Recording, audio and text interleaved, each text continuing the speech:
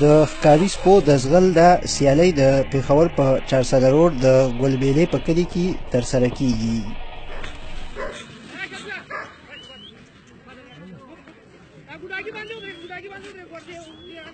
لاس په ډیره لاس او جمعه په جمعه موږ دلته سره د خپل مرګري هغه غب شپ ته پاره غون شو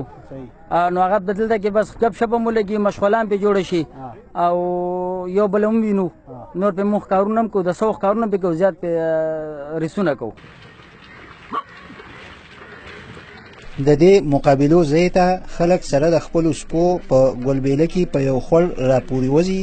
او د وړاندې نه په یو ټاکلي ورځ د جمعې د منځه وروستو دا سیالۍ ترسره کیږي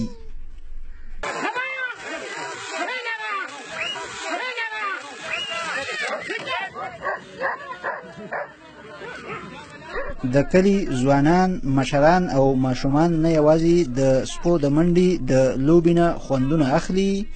بلکې د دې سیالیو د لارې د ښکار کولو شوقیان د خپلو سپو د منډي او د ښکار د رانیولو د صلاحیت اندازه هم لګوي ما سره خدای یو جوړه را نور دلته زموږ کلیوال دي لکه مطلب دا دی یو ځای بل ځای خلک دی هغوی ته مونږ ووایو پلان کوټ چې ډک کړو یا مومندو ته یا باړې ته یا مطلب دا دی پنجاب ته دغه ځینو ته ځو ښارونو له په کله کومه لار روان یو که ښځې ګوري ومومو سپو واله راله که سړو سړی ګوري یو مم سپو والا رااله نو لکه دا یو شی به سړی به خپل شو کې سو کم ترباز سو سوي سو سوي مو خپل شغل کوو نو به دا نه کوي دا ښځې چې موږ سره دا مهرباني وکړي چې دا یې نه و چې دا سپو واله راغله صحیح ده او بل دا لایسنس د دې څنګه جوړیږي د دې کومه محکمه ده لایسنس دا ځنګلات والے هانجی ها ځنګلات والے د خپل د سپو خپل کسان دي هغه موږ بیا د لیسن را سره وی کله وی لیسن کې دا پرغ دی کله وی لیسن کې دا پرغ دی د منډې لپاره دا سپي په یو ګوډاګي پسې ورپرېښودلی کېږي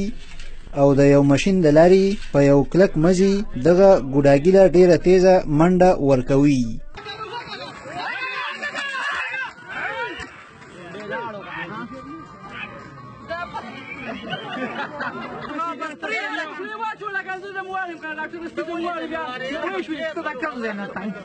د ګوډاګي د راخلو تیره مزه د یو نیم سپی خپه هم خوګوي